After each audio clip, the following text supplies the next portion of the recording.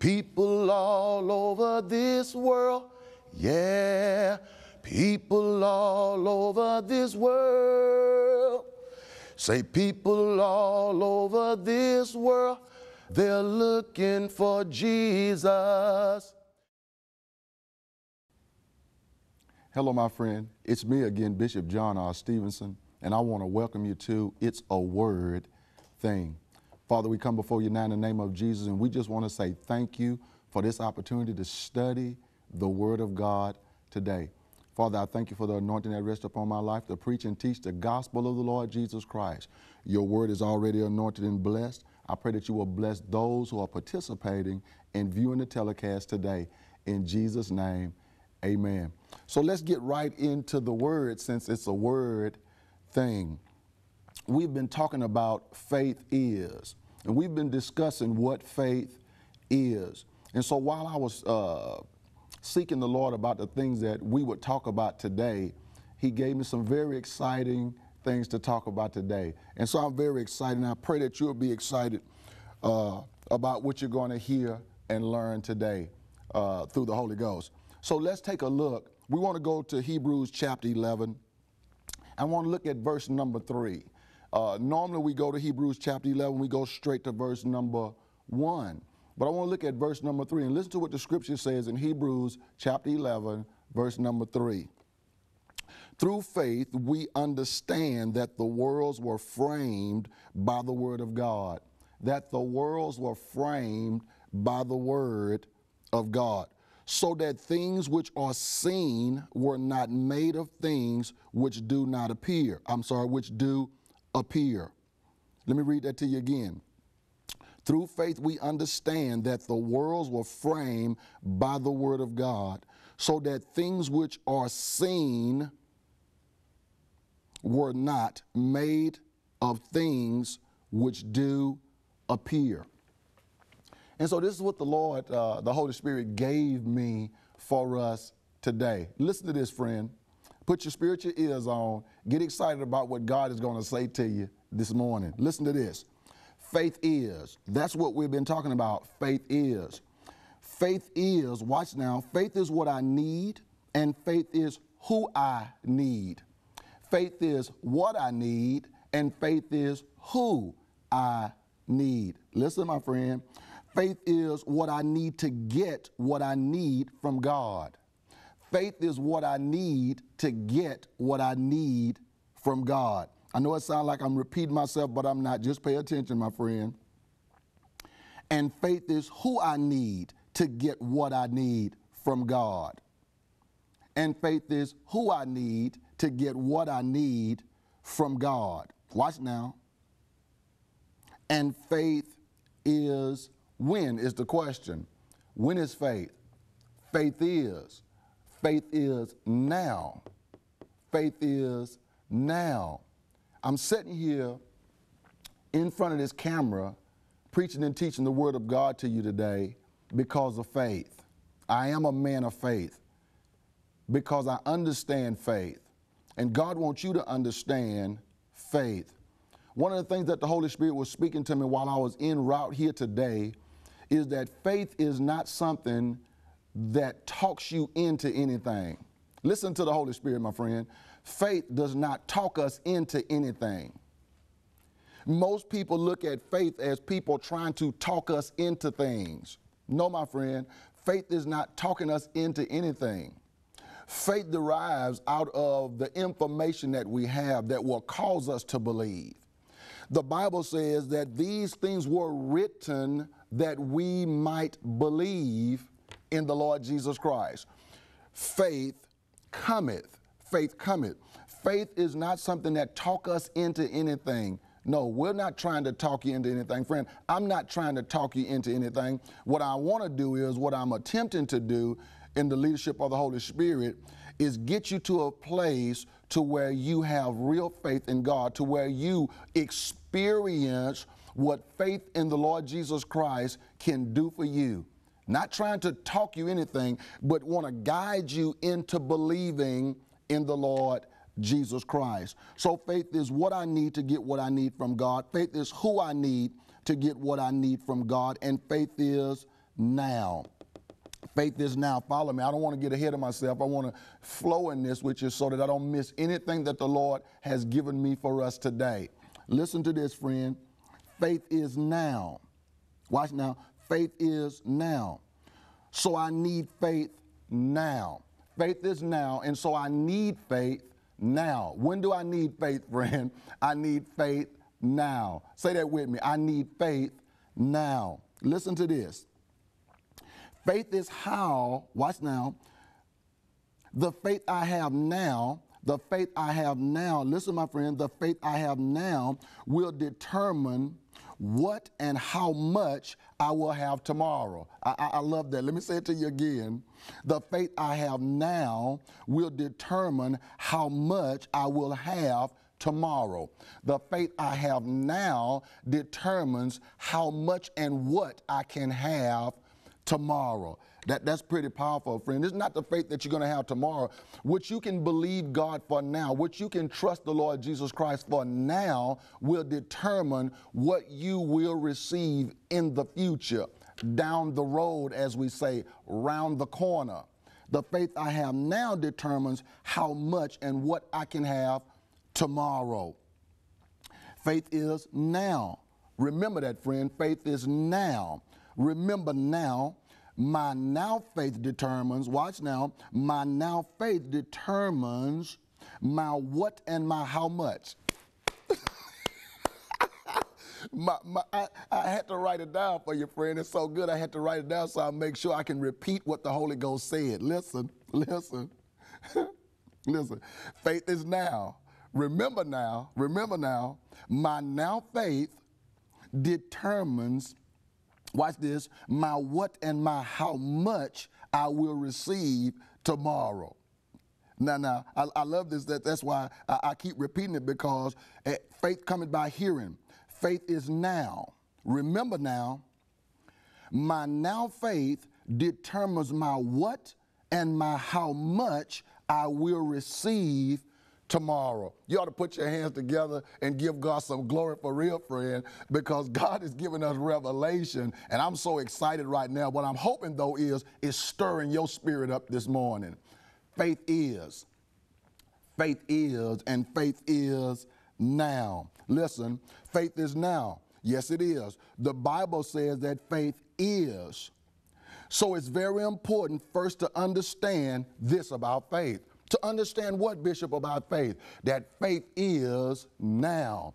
And my now faith will determine how much and what I can have tomorrow. It's all about what I can trust God for and believe Him for now, whether I can see it or not, because faith is not about what I see. Mm-mm.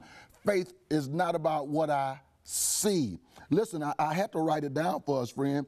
Faith is now. Faith is not tomorrow. Faith is now. Faith is not tomorrow. Faith is not, watch this, faith is not yesterday. No, no, faith is not yesterday, and faith is not sooner or later. Faith is now. Let me say that again.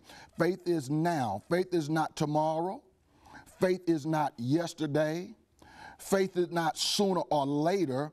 Faith is now faith is now, my now faith. What kind of faith do you have right now, friend? Where is your faith right now? I wrote a song about it. God gave me a song about it. Where is your faith today? Where is your faith today? What level is your faith today? How strong are you in your faith today? Yes, sir. Yes, sir. Let, us let's, let's look at this next one here. Faith is not, I, I have to say it again, friend. Faith is not a concept or an idea. Faith is not a concept or an idea that takes me back to saying faith is not trying to attempting to talk us into anything. Faith is there to get us to believe, to really be able to believe and experience the power of the Lord Jesus Christ operating in my life, the power of the Word of God operating in my life. It is not a concept nor an idea. Faith is the substance and the evidence. It's the substance and the evidence. Watch this. Faith causes the untouchable to become touchable. Faith causes the untouchable to become touchable. That thing that I can't see, that thing I can't seem to grab hold to. Faith causes the untouchable to be touchable, and it causes the unseen to be, oh Lord have mercy. It, it causes, watch now, it, faith causes oh i love this. Let me let me not get ahead of myself because i'm getting excited right now. Faith causes the untouchable to become touchable the unseen to become seen. The untouchable to be touchable the unseen to be seen. Friend that's what faith will do for you. That, that thing that's out of reach, that thing that you can't seem to get a hold of, that, that thing that you can't seem to make happen in your life, grab hold of faith. Faith will grab hold of that thing for you. And that thing that you can't seem to make happen, faith will make that thing happen for you. That thing you can't seem to hold on to, faith will cause you to be able to hold on to some things that you can't seem to hold on to. Come on, somebody clap your hands for Jesus. Give the Lord some real praise right now because if I'm being stirred up, and you, you ought to be getting stirred up right now, it ought to be causing some things to go off in your mind, in your heart right now, because this is the missing piece of the puzzle faith is the missing piece of the puzzle. You seem to have everything else, but you don't have faith. I, I, I, mean, if you got a recipe to bake a cake and you don't have eggs, my friend, it called for eggs, then you don't have everything you need to make a good cake. And so until I get faith, I don't have everything I need to make a good life, to walk a good Christian walk and to live a good Christian life. If I don't have faith, I don't have it. I can't do it without faith. The Bible says in Hebrews chapter 11, verse number 6, but without faith, it is impossible to please him. But without faith, it's impossible to please him. So I don't care what you do for the Lord. If you don't have faith, you can't please him. I don't care how much you do. Without faith, he's not pleased. Come on, clap your hands right there because that's the missing piece. that's the missing piece of the puzzle, friend. Faith is what's missing. Faith is what's missing. Let me get it back over here because I got to make sure that I stay lined up with what God is saying for us this morning. Listen to this one. Listen to this one. Faith causes the invisible to come into focus. Faith causes the invisible to come into focus. You know how something can be at a distance. You you take a uh, a telescope and if you focus it, I, I, mean, all of a sudden that thing comes closer to you. Faith will cause, let, let, let, I, I got to, faith causes the invisible to come into focus. That thing that you can't see, it causes it to come into focus, into view. Watch now, friend.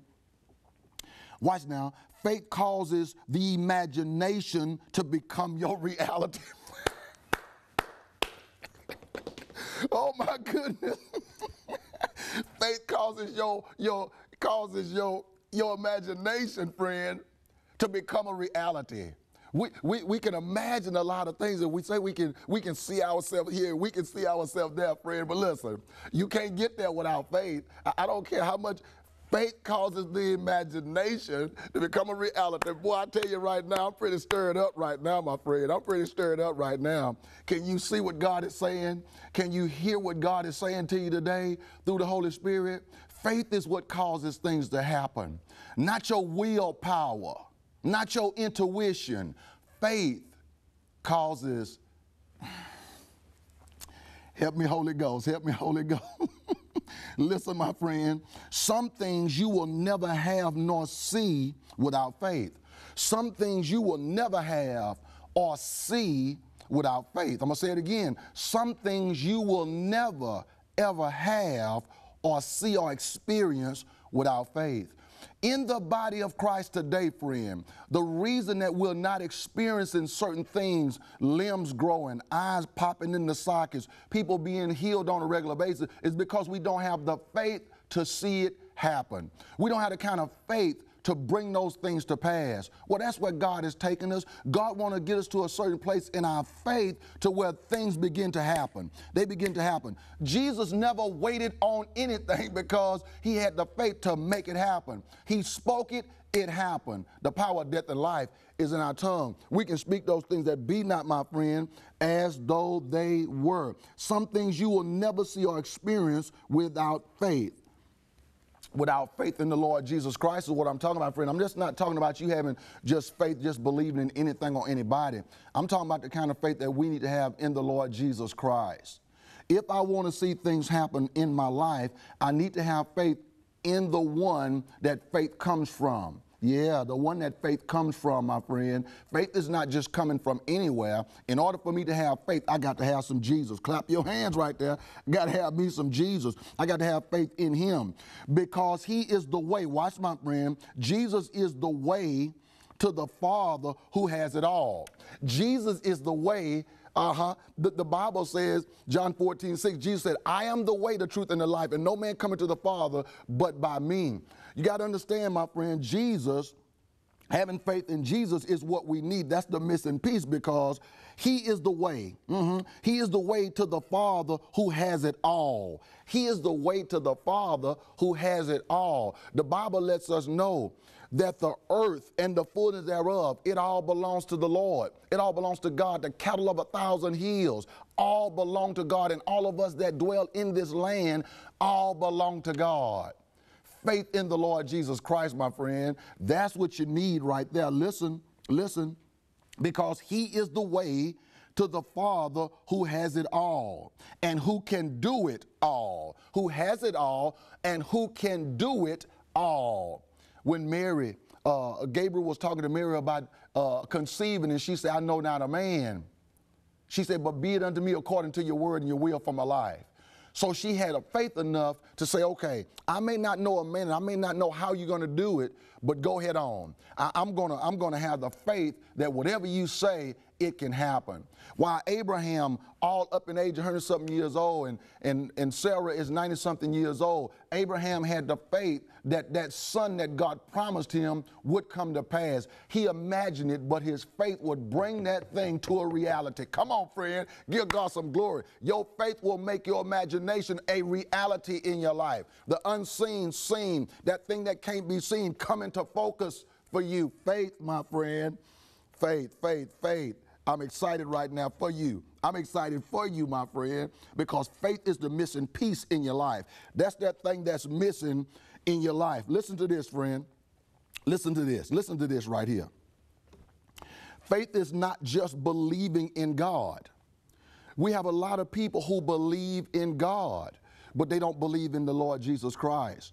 They don't believe in the Holy Spirit. No, no, friend. Faith is not just believing in God. That's not what faith is. You can't say, I have faith in God, but I don't have no faith in the Lord Jesus Christ. I don't believe in him at all. No, friend, that, that, that's, not, that, that's not it. Watch now.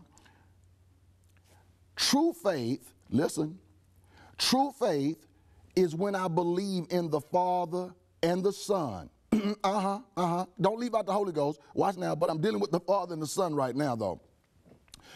True faith is when is when we believe in the Father and the Son. Watch now. And you can't have the one without the other because they are one. And you can't have the one without the other because they are one. Jesus said, Me and my Father are one in the same. They are one in the same. You can't have the one without the other, friend. You can't have the one without the other. First John chapter 2, starting at verse 21. First John 2. First John 2. I hope you got your Bible with your friend because it's a word thing. First, First John 2. I want to start at verse number 21. Listen to what it says, my friend. Listen to what it says. I have not written unto you because you know not the truth but because you know it, and that no lie is of the truth. Who is a liar but he that denieth that Jesus is the Christ?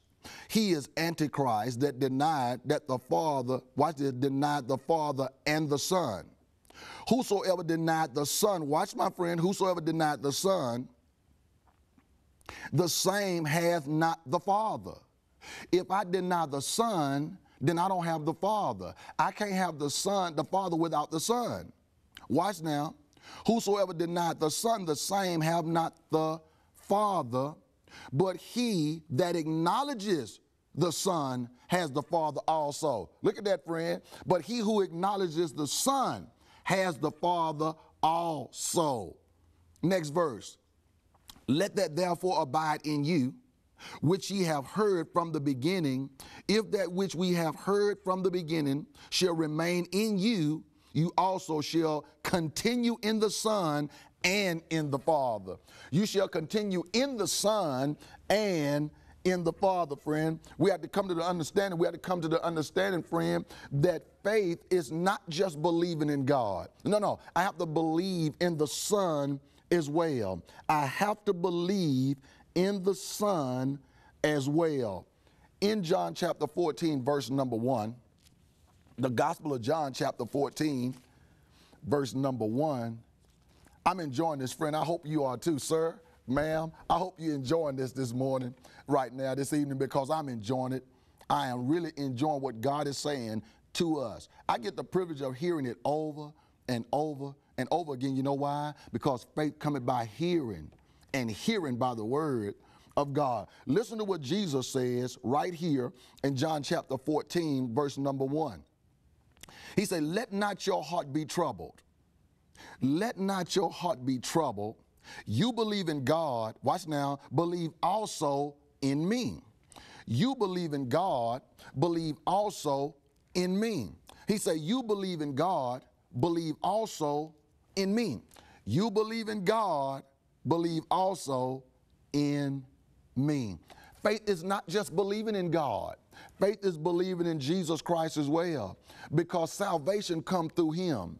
Salvation come through Jesus, my friend. So faith is not just believing in God. Faith is in the Lord Jesus Christ. Let's take a look at the rest of this that God has given to me for us today. Let's look at John chapter 10, verse 22. John chapter 10, because we're dealing with what faith is. We're dealing with what faith is. So if we deal with what faith is, we'll automatically come to the conclusion of what faith is not. If we come, if we know what faith is, we'll know what faith is not. And so those who say that they have faith in these other religions that don't believe in the Lord Jesus Christ, that don't believe in the Holy Spirit, they can't have a, a, a, relationship with the true and living God. They might have a relationship with a God, but it's not the true and living God. We're talking about what faith is right now, friend, not what faith ain't. We're talking about what faith is. And if we understand what faith is, we'll know what faith is not. John chapter 10, starting at verse number 22. Listen to what it says. And it was at Jerusalem, the feast of the, the dedication, and it was winter, and Jesus walked in the temple of Solomon's porch. Then came the Jews around about him and said unto him, How long doest thou make us to doubt? How long doest thou make us to doubt? God is not making us doubt. God is not making us doubt him. Christ is not making us doubt him. That's something we are choosing to do because of false information. We're choosing to do that because of false religion and listening to wrong doctrines. We are choosing to doubt. He's not making us doubt. Watch now. If thou be the Christ, tell us plainly. If thou be the Christ, he say, tell us plainly. Well, what more do Jesus have to do? Listen to this. Jesus answered them, I told you, and you believe me not. He said, I told you, but you believe me not. The works that I do in my Father's name, they bear witness to me. The work that I do in my Father's name bear witness to me. But ye believe not because ye are not of my sheep. You see that, beloved? The doubting and the unbelief is not because of Christ, it's because the person is not of him. Watch now. As I said unto you, see, my sheep hear my voice, and I know them, and they follow me. My sheep hear my voice, I know them, and they follow me. Verse 28 And I have given unto them eternal life. My friend, he said, I've given unto them eternal life. Who are them? Those who believe and follow him. I can't just say I have faith in him if I'm not following him. Can't say I believe in him if I'm not following him. He give those of us who follow him eternal life. Those of us who really have faith in him eternal life. Listen, my friend, listen. I give unto them eternal life, and they shall never perish. And they shall never perish. These are God's words now. And they shall never perish, neither shall any man pluck them out of my hands. My Father, which gave them me, is greater than all, and no man is able to pluck them out of my Father's hand. Verse 30, listen what it says I and my Father are one. I and my Father are one. Then the Jews took up stones against uh, again to stone him. Am I your enemy friend because I tell you the truth? Am I your enemy friend because I tell you the truth? Don't throw stones, don't throw rocks and stuff at me. I'm telling the truth. I'm, I'm preaching according and teaching according to the word of Almighty God. Jesus answered them, Many good works have I showed you from my Father.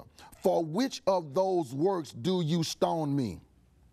Then the Jews answered him, saying, For a good work we stone thee not, but for the blasphemy, because that thou, being a man, make thyself God. Jesus answered them, Is it, listen, is it not written in your law, I say, ye are gods? If he called them gods unto whom the word of God came and the scriptures cannot be broken, say ye of him whom the Father has sanctified and sent into the world, thou blasphemy, because I say I am the Son of God? If I do not the works of my Father, believe me not, he said. Watch now. But if I do, though ye believe me not, believe the works that you may know and believe that the Father is in me and I am in him. You see that? You can't, faith is not just believing in God, friend. Faith is also believing in the Lord Jesus Christ. Because he say, me and my Father are one. Can you understand that, friend? Is that a little clearer for you? I know that there are many religions out there, there are many doctrines and teachings out there that want to make us believe that we can believe in God any way we choose. But that's not faith, friend. Faith is believing in God the way that God intends for us to believe and have faith in Him. Can't do it the way I want to. There is a standard, there is a set way for us, my friend, to have faith in the Lord Jesus Christ. Let's make sure that we're paying attention to what God is saying. True faith will cause you and I to believe in the whole God. True faith will cause you and I to believe in the whole God, not just pieces, bits and pieces of who God is, not just pieces of the doctrine. No, no, it will cause us to believe in the whole God, Father, Son, and Holy Ghost. True faith, watch this, true faith in God will cause you and I both to believe that Jesus Christ is the full embodiment of God. Here it is. We're at another end of our segment. I pray uh, in the name of Jesus that you've heard from the Holy Ghost today and that everything that you've heard, you're going to put it into practice. Faith in the Lord Jesus Christ is what we're talking about. I'll see you later, friend. Bye bye. People all over this world, yeah, people all over this world Say people all over this world, they're looking for Jesus.